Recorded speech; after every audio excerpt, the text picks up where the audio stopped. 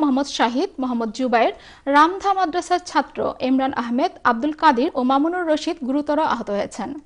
আমাদের বিয়ানীবাজার প্রতিনিধি সাদেক আহমেদ আজাদ জানান, আহতদের ঢাকায় একটি হাসপাতালে ভর্তি করে উন্নত চিকিৎসা দেওয়া হচ্ছে।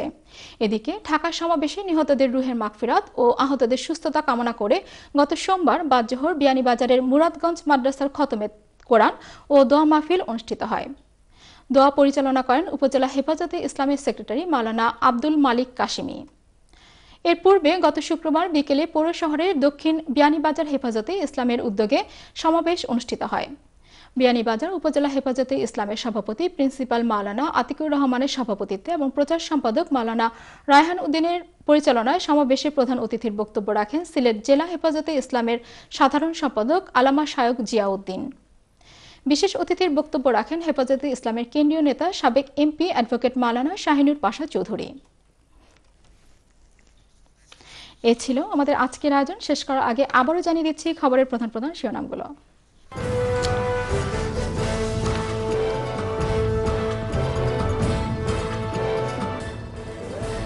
পেটিকোট লেনস্থ হল্যান্ড স্টেট রিজেনারেশন পরিদর্শন করলেন মেয়র লুৎফর রহমান। জুলাই মাসের প্রথম সপ্তাহে সর্বসাধারণের জন্য খুলে দেওয়ার ঘোষণা নয়তলা বিশিষ্ট মারিয়াম সেন্টার। জগন্নাথপুর ছাত্র কল্যাণ পরিষদ ইউকের উদ্যোগে আজিজুল সামাদ আজাদ ডনের সাথে মত বিনিময়